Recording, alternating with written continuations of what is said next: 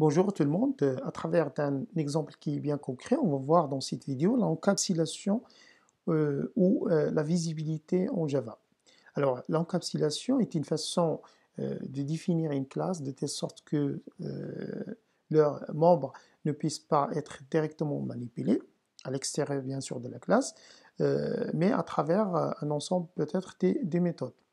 Et, donc la visibilité d'une classe définit la manière où, euh, où euh, pourrons-nous euh, déclarer, instancier, utiliser un objet. On peut définir la visibilité pour chaque membre de la classe.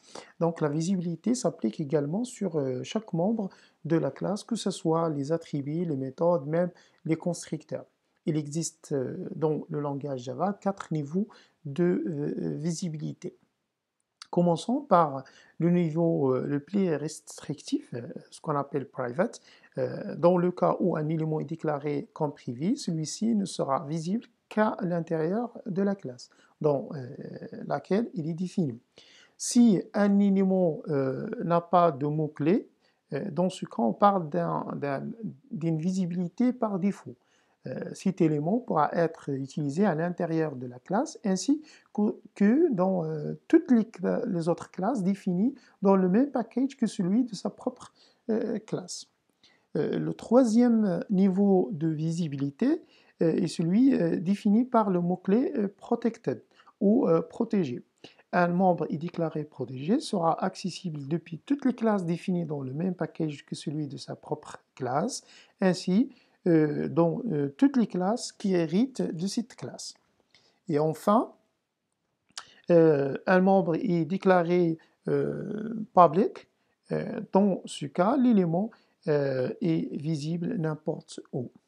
Donc, à travers un exemple qui est bien concret, donc on va voir la notion de visibilité. Donc, on va créer un projet, un nouveau projet Java.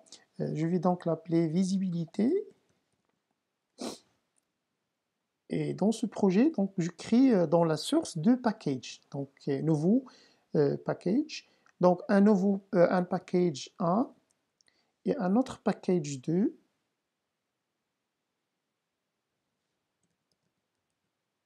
pour différencier entre les, différentes déclarations de, de visibilité. Alors, dans le package 1, je crée toujours en utilisant dans les euh, tutoriaux euh, le- la classe point, donc euh, toujours en utilisant point. Alors, on va déclarer un point classe dont, défini par deux, deux, deux- deux éléments x, y, sans modificateur, c'est-à-dire sans, sans visibilité. Et donc, il est défini par défaut comme package, c'est-à-dire euh, les deux éléments x et y euh, seront visibles euh, à partir de, la classe et de toutes les classes qui se trouvent dans le même package. Et donc, je peux accéder à x et y à partir d'un- d'une autre classe. Et, et donc, je peux déclarer un constructeur et puis accéder à travers, euh, bien sûr, euh, je crée un objet constructeur et accéder à travers l'objet euh, pour afficher les valeurs de x et y. Donc, un constructeur point défini par x, y, et puis initialiser les attributs x par les, les paramètres le, para- le paramètre y, euh, par le paramètre x, pardon, et y, l'attribut y par le paramètre y. Bon, nous avons un point maintenant, donc je peux déclarer un objet, créer un objet à travers d'une classe, d'une autre classe, classe principale, donc euh, classe de test, test point par exemple, définie par euh, voidman, c'est-à-dire la méthode principale. Et puis dans la méthode principale, je déclare un point, un objet point, p égale new point, défini par 2, 4 par exemple, comme euh, valeur de x y. Et maintenant, je peux afficher les valeurs euh, system.out.println, par exemple, euh, les valeurs de x, p.x la même chose y.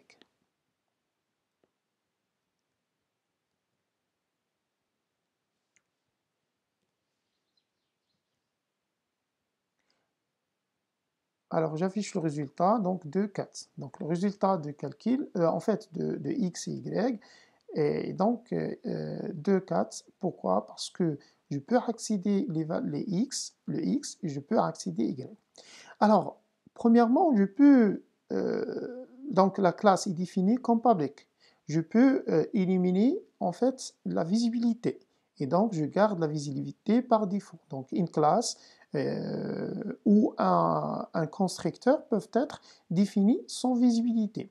Et du coup, quand on définit les, classes ou constructeurs sans visibilité, ça veut dire que donc on peut l'accéder à travers le package, mais je ne peux pas l'accéder à travers un autre package. Donc je ne peux pas créer un objet à partir d'un autre package. Et du coup, donc, je peux euh, créer une classe quelconque, classe par exemple le point 3D, euh, 3 dimensions, sans bien sûr void dans ce cas. Et alors, euh, euh, dans une méthode void affichage par exemple, ou afficher 2D, 3D, alors je déclare par exemple, je déclare un point P égale new point, défini par 3, 5 par exemple. Alors, euh, premièrement, donc, il faut importer point. Euh, donc, le point n'est pas visible, comme vous voyez. Donc, le package n'est pas visible. donc, le point, je ne peux pas, euh, peux pas l'utiliser dans une autre classe qui se trouve dans un autre package.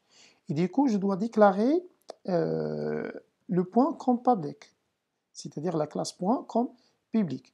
Et qu'on vous voyez maintenant que je peux euh, accéder au package, le point qui se trouve dans le package. Et donc, euh, son modificateur, ça veut dire que je ne peux pas accéder à travers d'un autre package. Alors, avec modificateur, public par exemple, dans ce cas, je peux accéder. Alors, une classe ne peut pas être déclarée comme protected. Donc, n'existe pas la visibilité au niveau de classe. Cette visibilité protected. Mais il existe, euh, même private n'existe pas, donc il existe public et son modificateur.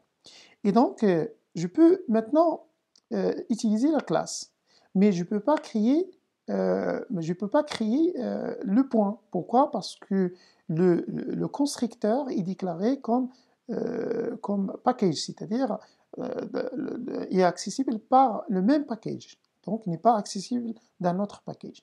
Et du coup, donc, je dois le déclarer comme public. Alors, en général, les classes et les constructeurs sont déclarés par le mot-clé public.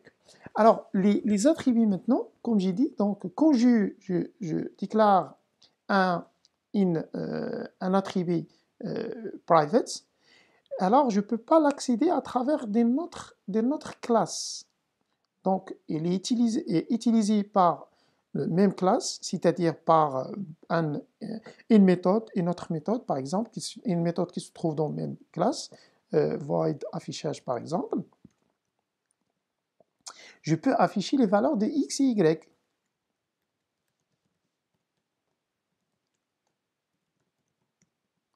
Alors x directement, puisque x se trouve dans la même classe, et y aussi. Donc je peux afficher x, y à travers la méthode affichage. Même les deux sont déclarés comme private. Par contre, si vous accédez à travers des autres classes, donc je ne peux pas, puisque x y sont déclarés euh, private. Sinon, donc, je peux utiliser euh, la déclaration par défaut. Donc, j'accède, je peux accéder maintenant. Je peux accéder à, travers de notre classe qui se trouve dans le même package. Mais je ne peux pas accéder à travers une autre, autre classe qui se trouve autre, euh, dans un autre package. Alors, si vous voulez tenter à afficher système.out.print ln, donc p.x, alors dans ce cas, vous aurez problème d'accès. Alors, il vous dit que problème de visibilité, not euh, visible. Ça veut dire que je ne peux pas accéder à la valeur de x. Pourquoi? X est défini par défaut, c'est-à-dire sans modificateur, et donc n'est pas accessible à partir d'un autre package. Alors je peux l'accéder à travers un autre package en utilisant le mot-clé public. Donc je peux utiliser public. Et donc quand vous utilisez public, dans ce cas, je peux accéder. Et donc euh, il n'y a pas d'erreur, donc je peux afficher la valeur de x d'un point P. Pourquoi? Parce qu'il est déclaré public. Alors si vous voulez protéger plus encore votre x, point, euh, votre, valeur x, alors je peux utiliser protected. Mais dans cette fois-là, euh, je peux accéder à travers Protected, mais dans le cas où le point, euh, point 3D est hérite de la classe euh, point. Et donc, Protected permet l'accès à travers le même package, mais aussi une classe qui appartient à un autre package, mais nécessairement doit être héritée de la classe point. Sinon, donc, euh, je ne peux pas accéder. Alors, euh, donc, euh, je dois déclarer le, point, point 3D comme classe phi de la classe point. Et vous allez voir, bien sûr, la notion de, d'héritage. Vous pouvez revenir à, tout moment les vidéos concernant l'héritage. Et donc, je peux hériter de la classe point dans ce cas-là, je dois ajouter euh, bon, euh, un autre niveau, euh, int z par exemple, comme, comme attribut z, et puis ajouter, ajouter ce qu'on appelle le constructeur. Donc vous pouvez cliquer ici, donc il vous, vous ajoute le constructeur 3D défini par deux paramètres et troisième paramètre comme troisième élément z. Donc vous pouvez ajouter bien sûr euh, Z euh, comme euh, troisième dimension. Alors Z. Donc, point 3D hérite X et Y, et on ajoute un autre attribut Z. alors, on revient à notre objectif, c'est que maintenant, je peux afficher les valeurs de X directement.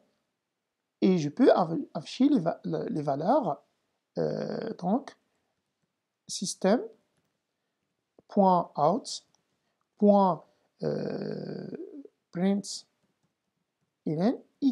Donc là, euh, je parle de, de y, de x et y de, de l'attribut. Alors les attributs de, de, la classe. Donc x est accessible, y n'est pas accessible. Pourquoi y n'est pas accessible? Parce que et il est déclaré sans modificateur, sans visibilité.